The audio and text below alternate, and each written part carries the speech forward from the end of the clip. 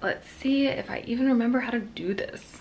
Hello and welcome back to my channel. It has been so, so, so, so, so long since I have done a random update vlog like this. So today I thought I would film a little casual update vlog here on my couch at home and just tell you and show you some of the things that have changed in the past few months. You may have already noticed, but this is one thing that has changed, and this is actually very new, so it might be the first time you're seeing it, or maybe you didn't even notice, I don't know, maybe I'm just the only one thinking this is a huge deal, but I got a haircut.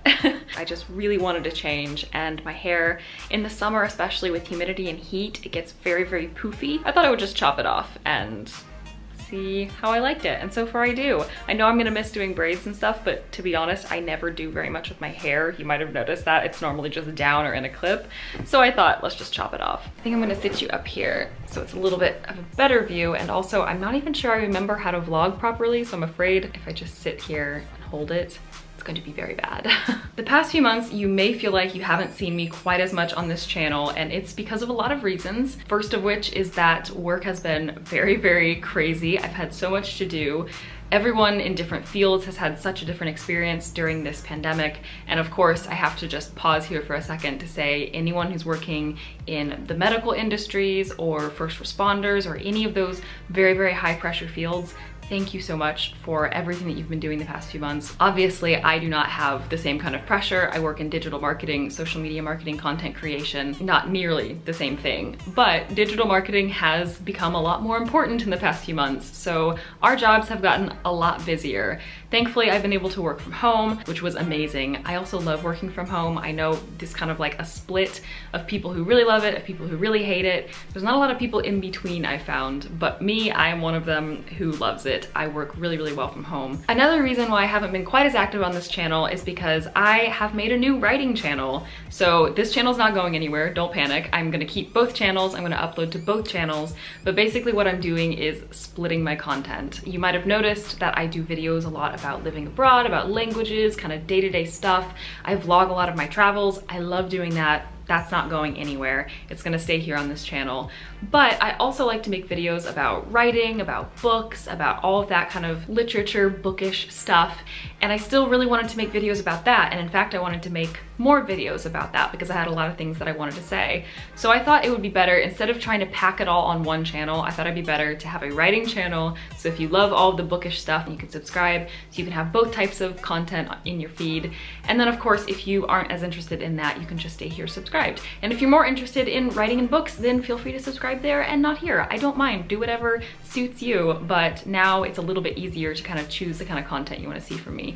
So I hope that has been fun for you guys who have subscribed to me over there. Thank you so much, by the way, to all of you. And that is why I haven't had quite as much time to have weekly videos on both. That's just not gonna be possible. Another change that you may have noticed because I'm sitting on it, is this couch. Over the past few weeks, my husband and I have decided to do a few things to our apartment and just kind of spruce it up, change some things that have needed changed for a very long time, actually, I will admit. One of them was the couch. I don't know how obvious it was from pictures and things like that, but that couch was not very comfortable, the one that we had before. It was very much not just a budget couch, but an extreme budget couch, and we didn't realize it was going to be quite so uncomfortable and it was very uncomfortable. So this has been a long time coming. We finally decided just to kind of bite the bullet and get a new couch because we really needed it. Voila, new couch. I know the pillows don't match, but I don't even really care because I'm not that picky and the couch is so much more comfortable than the other one, so I'm very happy. We've also moved basically everything in this main room.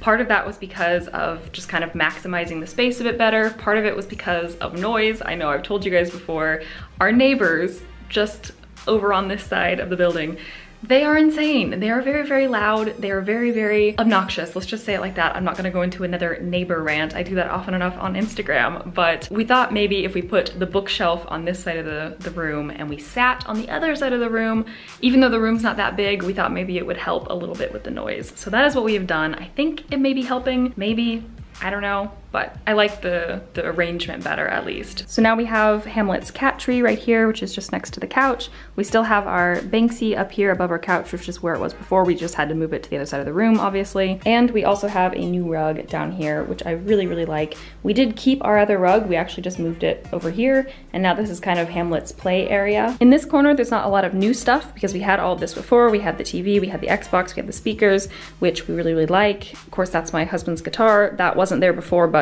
he's had it for a very long time. And same with the cat fountain actually over here. That was normally in the bedroom, but it's just a little bit noisy, so we decided to move it out here and Hamlet still loves it, so he's happy. Up here though is another new addition. So what is this called? Uh, canvas, I guess? I wanna call it a tableau, but I think that's the French word. This is a new canvas that we got and I really, really like it on this wall. It really helps with the kind of white wall syndrome that we have had going on here for a very long time.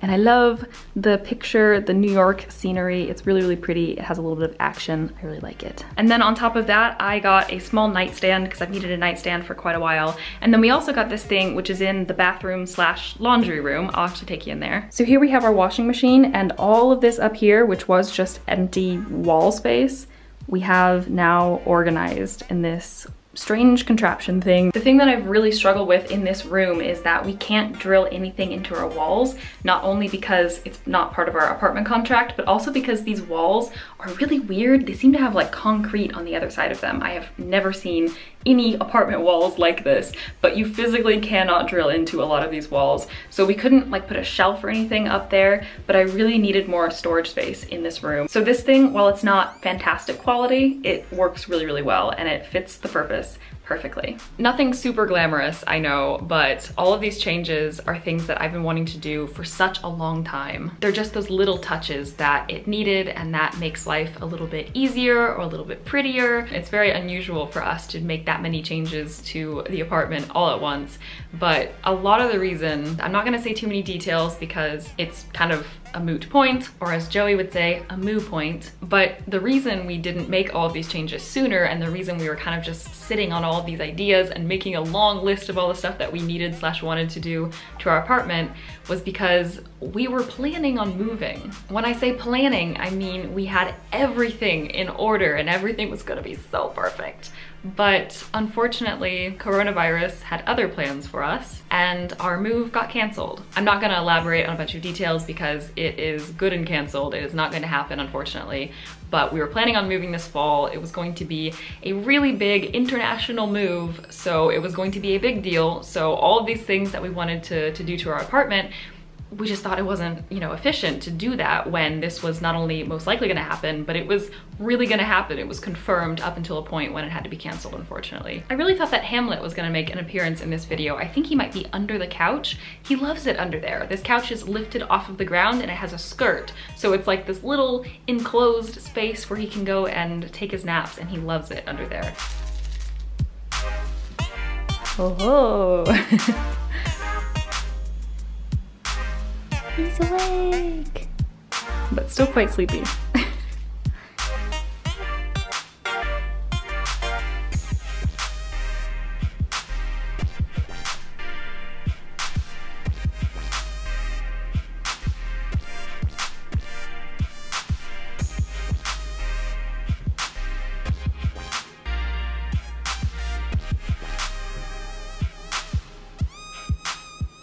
As you can see, Hamlet is very relaxed and doing very well, and he's very, very happy that his humans have been home a lot more recently. Even though most stuff in France has opened back up, I've really just continued to limit my going outdoors the situation here is, you know, it's much improved, it's very good, but there are still cases and there's, you know, potentially the second wave that everyone's talking about and that's very likely. So I'm being careful. I'm just limiting, you know, how much I go out and about and what I do specifically just to make sure it's possible to, to be socially distanced when I'm doing whatever I'm doing. One thing I really, really miss and that I'm not doing yet and I'm not planning anything yet, but I can't wait until it's safe enough that I feel like I can, but that is traveling. I miss traveling so much. I already complained on Instagram, but we were supposed to go to Scotland in April, and of course that was right in the middle of the pandemic, especially in France, so obviously that got canceled, and I didn't think we'd be able to reschedule it actually, because we were planning on moving, so I didn't think it was gonna be possible. But now that we know we're here, maybe, possibly, if things clear up, maybe spring, we can plan